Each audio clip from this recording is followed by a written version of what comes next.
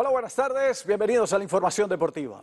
Esta noche la selección Colombia femenina de fútbol jugará su partido amistoso ante México en el Estadio Azteca. El combinado nacional se mantiene en competencia con partidos amistosos previo a su participación en la Copa América del 2022. Para octubre también tendrá un juego ante Chile.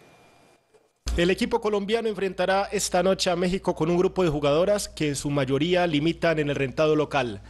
Y es importante tener este grupo humano en este momento para ese partido amistoso con, con México. Eso nos va dando una apertura de tener jugadoras importantes para cuando se venga la Copa América. La tricolor también contará con la presencia de Lacey Santos y de Catalina Pérez, jugadoras que actúan en la Liga de España. Traen un buen ritmo de competencia y a eso también le apuntamos. Una motivación para esta noche será pisar el campo de juego del emblemático Estadio Azteca. Lo mismo pues pasó cuando estuvimos en Estados Unidos y, y, la idea de nosotras como jugadoras y obviamente del cuerpo técnico, lo que también espera la gente es ir y, y hacer las cosas bien. El partido de la capital mexicana ante la Tri comenzará a las 7 de la noche.